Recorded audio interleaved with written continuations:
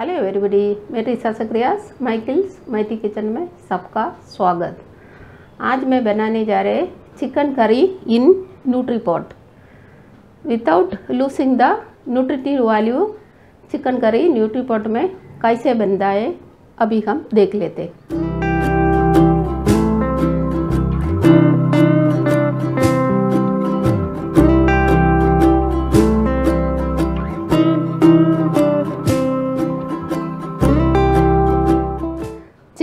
बनाने के लिए मैंने लिया है वन के जी चिकन इसमें मैं वन टीस्पून अदरक लहसुन पेस्ट डाल दिया हाफ़ टी स्पून मिर्ची पाउडर डाल दिया वन फोर्थ टी स्पून हल्दी पाउडर डाल दिया टू टेबल स्पून दही डाल दिया हाफ़ टी स्पून नमक डाल दिया।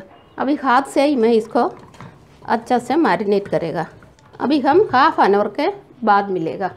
अभी हमारा नेक्स्ट स्टेप में हम लोग ये फोर मीडियम साइज़ ऑनियन मैंने लिया, पाँच ग्रीन चिल्ली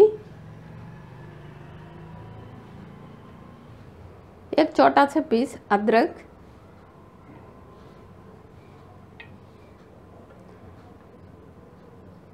छः गार्लिक क्लाउज और धनिया पत्ता। ये हम अच्छा से क्रश करेगा। आपके पास चॉपर नहीं है तो आप हाथ से भी छोटा छोटा करके काट सकते हैं। अच्छा से चॉप हो गया है अभी हम ये टमाटर भी क्रश करके ले लेते हैं। टमाटो मैंने लिया थ्री मीडियम साइज़ टमाटर। अब ये टमाटर भी मैं अच्छा से क्रश करके ले लेती हूँ।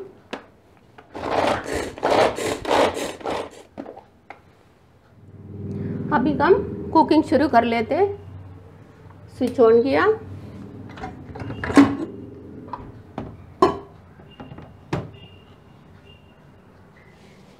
ये हम सौते मोड में करने जा रहे हैं। सौते मोड है टेन मिनट्स इसमें मैं two tablespoon cooking oil डाल दिया। ये तेल गरम करने के लिए हम इंतज़ार करेगा।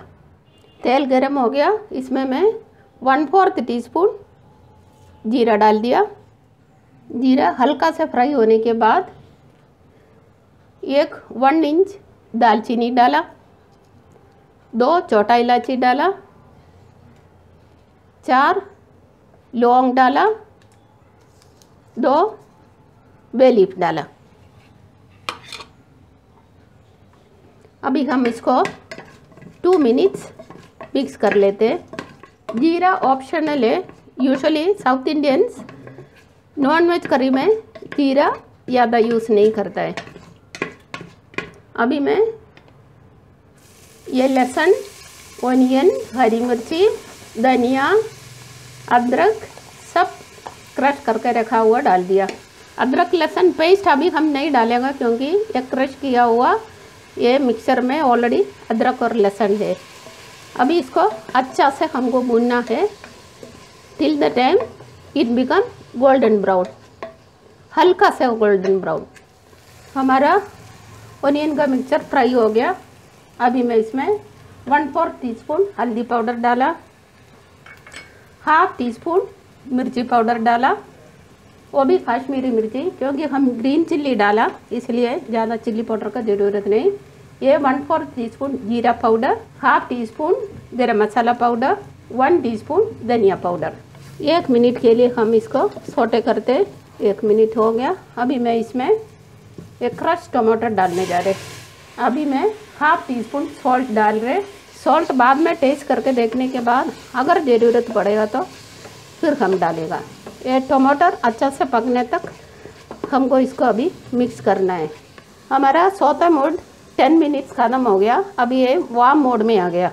इसलिए हमको अभी इसको ऑफ़ करके अगेन हम सोते मोड में डालेगा। टू मिनट्स में अभी और हो जाएगा। ये टमाटर अच्छा से पक गया। मैं ये सोते मोड कैंसिल कर रहे और अभी मैं इसमें चिकन डालने जा रहे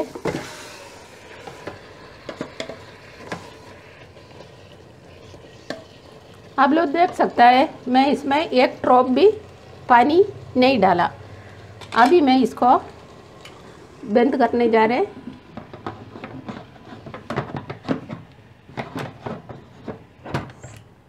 बंद करने के लिए हमको इस तरफ़, हमारा तरफ़ इसको क्लोज करना है। उसके बाद, अगर है अभी ये वेंट मोड में वेंट मोड में कभी नहीं रखना वेंट मोड में रखने से इसका गैस पूरा बाहर चले जाएगा। इसलिए क्लोज करने के बाद हमेशा इसको सीलिंग मोड में लगाना। सीलिंग मोड इसका वो नीचे जो डिप्रेशन है, वो ही जगह। अभी मैं इसको चिकन करी में प्रेस कर रहे सिक्सटीन मिनट्स में हमारा चिकन करी बन जाएगा। हमको अभी इसके पास खड़े होने का कोई ज़रूरत नहीं सिक्सटीन मिनट्स के बाद फिर गम आएगा। इसका स्टीम पूरा ठंडा हो गया।